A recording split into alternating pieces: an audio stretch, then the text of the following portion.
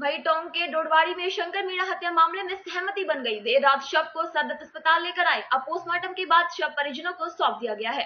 देर रात धरना स्थल पर सांसद हनुमान बेनीवाल के साथ एसपी और कलेक्ट्रेट के साथ वार्ता हुई। आरएलपी के विधायक फुखराज गर्ग और इंदिरा देवी भी मौजूद रही। जिसके बाद पचास लाख आर्थिक सहायता संविदा पर एक परिजन को नौकरी का आश्वासन दिया। वही बजरी नाका, कार्मिक और पुलिस कर्मचारी समेत चौदह नामजद और अन्य के खिलाफ एफआईआर दर्ज की गई। पिपलू थानाधिकारी को लाइन हाजिर कर भी आश्वासन दिया। अब मालपुर एडिशनल एसपी राकेश कुमार को पूरे मामले की जाँच सौंपी गई है।